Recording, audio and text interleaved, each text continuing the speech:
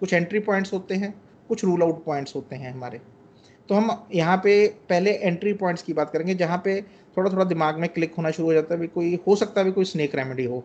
अगर हमें उनमें से तीन, चार, पाँच करेक्टरिस्टिक मिल जाते हैं एक पेशेंट में, फिर हमें वो ज़्यादा ये हो जाता है कि हाँ ये स्नेक रेमेडी हो सकता है next is the awareness usually you will find recently अभी एक आया केस टेकिंग कराने अपने पेशेंट खुद भी था।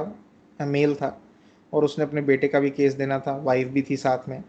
तो अरेंजमेंट ऐसे हुआ कि वो अपना केस दे रहा था एक असिस्टेंट डॉक्टर को और जो वाइफ और बेटा है वो दूसरे असिस्टेंट डॉक्टर को बेटे का केस दे रहे तो ये बंदा अपना केस दे रहा है। लेकिन उधर से क्या सवाल पूछे जा रहे हैं बेटे को? उसका ध्यान उसमें भी है। अपना तो बता ही रहा है वो। लेकिन उसका ध्यान उधर भी है कि वाइफ क्या आंसर दे रही है। जहाँ जहाँ पे वाइफ गलत थी वो नहीं नहीं, ऐसे नहीं हुआ था, तब हुआ था ये। बीच में बोल देगा वो। ठीक है so there very aware and alert for their surroundings